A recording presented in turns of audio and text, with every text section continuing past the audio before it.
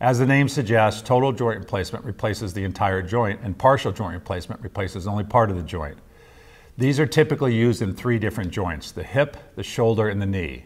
For the hip and the shoulder, partial joint replacements are used in elderly patients who have a fracture or broken bone when one part of the joint is broken and the remainder of the joint is in good condition. These are typically low demand patients, and again, typically are older patients.